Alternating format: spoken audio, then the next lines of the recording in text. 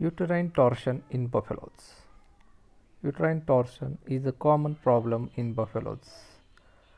Earlier it is considered as buffaloes having habit of wallowing and traveling in hilly track area are the predisposing causes for uterine torsion in buffaloes. But the major and important reason behind the uterine torsion happens in buffaloes are its capacious abdomen and a weaker lesser broad ligament. And due to which these buffaloes they are very prone to torsion. And mostly torsion occurs during uh, first stage of labor when animal become restlessness and there is a vigorous movement of sitting and up so these are the major reasons why torsion is more common in buffaloes compared to the cow.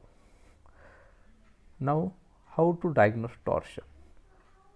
The torsion diagnosed mostly on the basis of clinical signs as animal become restlessness there is continuous movement of buffaloes there is lot of training diagnosis is on the basis of clinical signs shown by the animal then per rectal and per vaginal examination of the animal.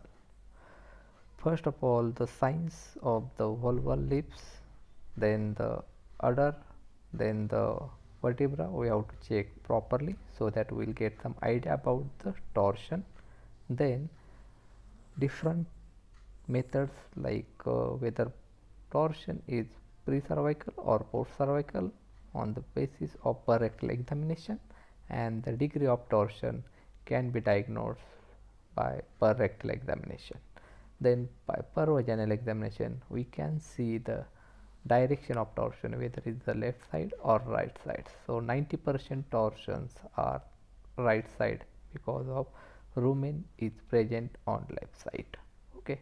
So basically the torsion is diagnosed and then on the basis of basis of per rectal and per vaginal examination on the side of torsion we have to take rolls. Okay so rolling can be done mostly by using the wooden plank.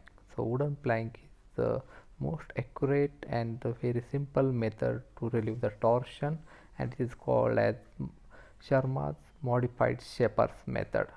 Okay so the torsion while handling the torsion case when animal is in stress. So before rolling we should go for the uh, like antihistamine or dexamethasone and some fluid.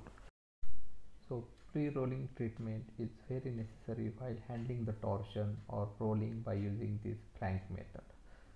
So one or two rollings are sufficient to relieve the torsion and every time you have to check whether torsion is relieved or not. And on the basis of that we have to check properly.